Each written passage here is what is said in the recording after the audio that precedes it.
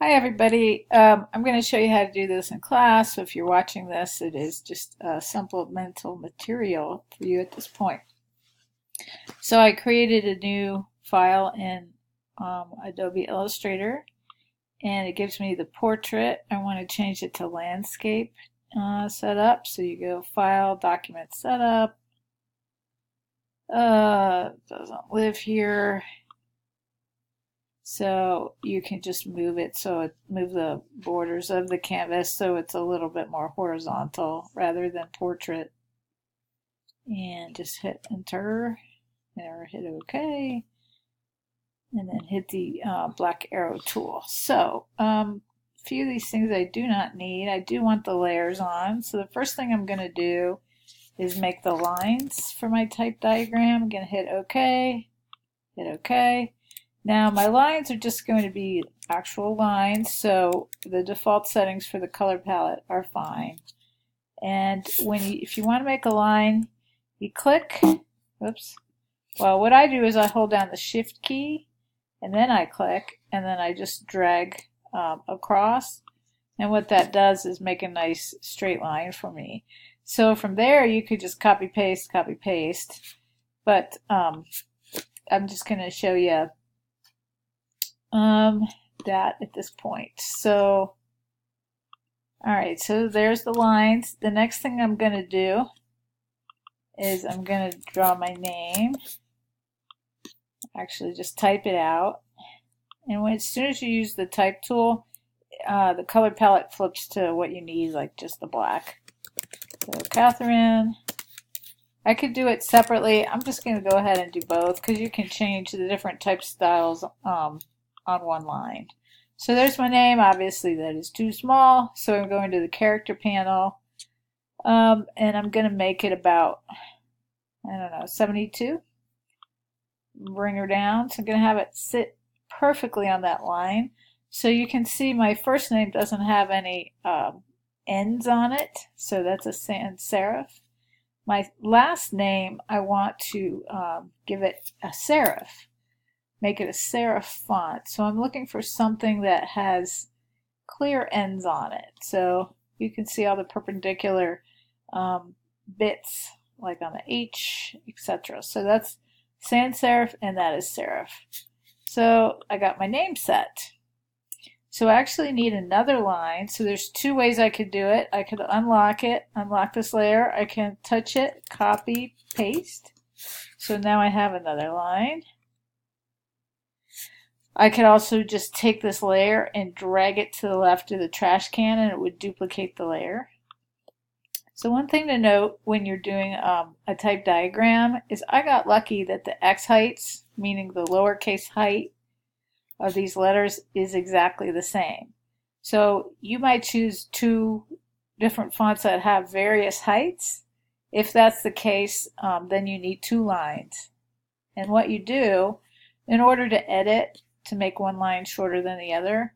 You just get that white arrow tool, click on the very end of your line, hold down the shift key, get the left arrow, and move it all the way over.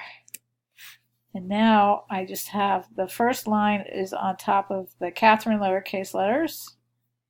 And then I'm going to copy, paste, second line, is on top of Humphreys' lowercase letters.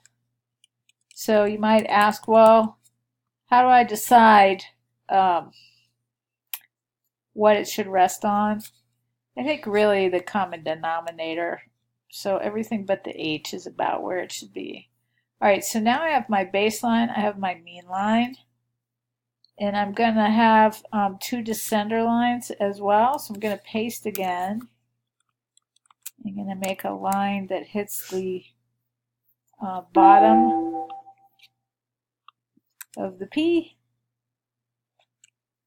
And I'm going to move this over, the shift key to get it over in a hurry. I'm going to select that, copy, paste.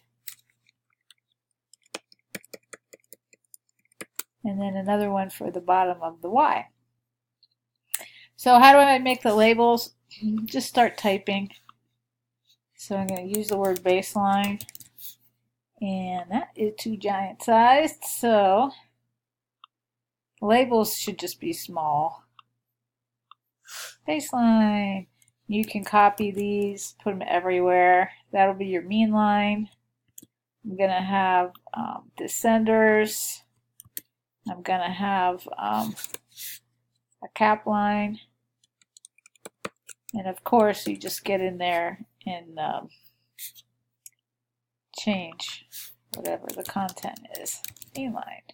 Another thing you might want to do once you get um, the labels in here is you might want to make arrows. In order to make arrows, let's see, click on the stroke box. First of all, let's make it. There's my arrow. It's just a line. Um, if it comes out invisible, then you click down here. There's a little default fill and stroke. That's what you want. So I've got that selected. You come up here and you click on stroke panel. So you see there's arrowheads.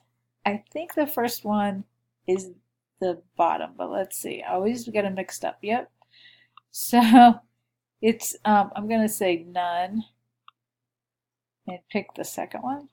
There you go. I can never get that right.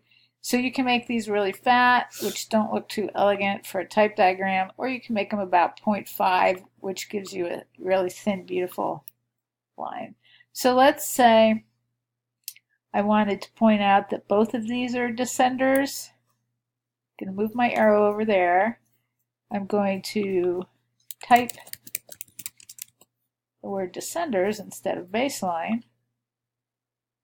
And I'm going to grab the end where the arrow is, drag it right here. Very nice and then I'm going to make another one. I could also copy and paste that. You know what? I think that's what I'll do. So I'll select that, copy, paste. I'll bring it over here, except I'm going to take the end of that and move it to the top descenders. So I've got two descenders. So that's basically um, how you create a type diagram you just add more, but this is the um, base of it. One last thing I guess I'd show you is um, you want to do the X height, which is the height of the lowercase letters. That's just a line.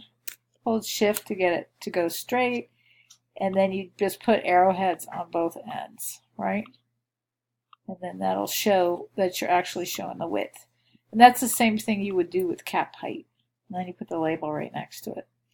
Okay, well I hope uh, that's clear. If you have any questions, let me know. Bye.